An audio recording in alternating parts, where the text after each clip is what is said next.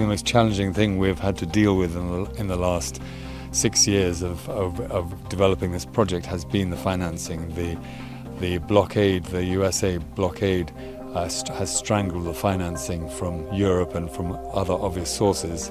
Uh, so financing projects even today is, is, a, is a struggle and a challenge.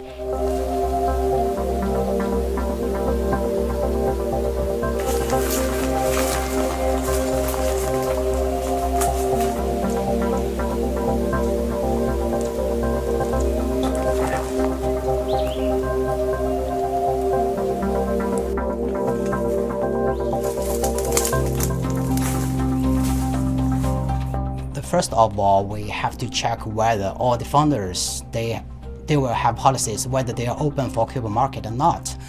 Once the first you know obstacle is overcome overcame, then we can move forward.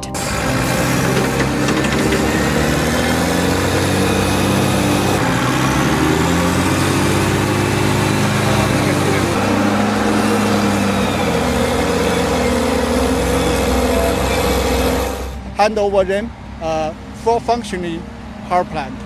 And uh, at the same time, we were responsible for two years operation of the power plant, so make it smooth transfer to Biopower.